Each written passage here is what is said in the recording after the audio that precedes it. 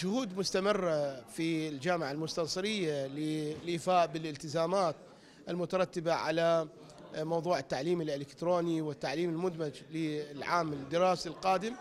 واليوم بعد كل ما كنا في التربية وكنا في الصيدلة اليوم وفي كلية العلوم اليوم في كلية الآداب.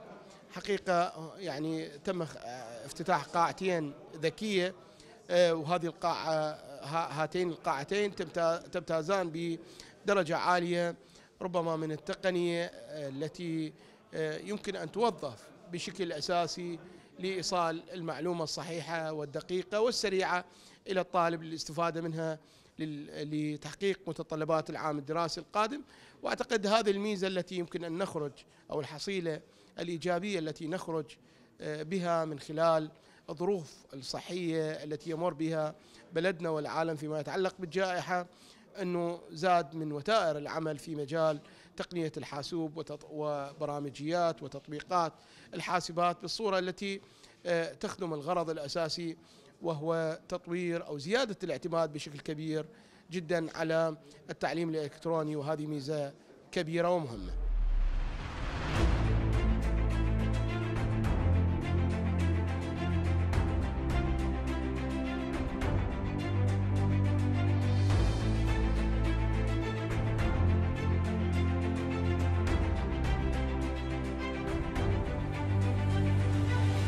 اليوم نشهد افتتاح العديد من القاعات الذكية لطلبة الدراسات العليا وكذلك طلبة الدراسات الأولية للاستفادة من هذه المميزات التي توفرها هذه المختبرات من حيث الصبورة الذكية من حيث برنامج التفاعلي بين الأستاذ والطلبة.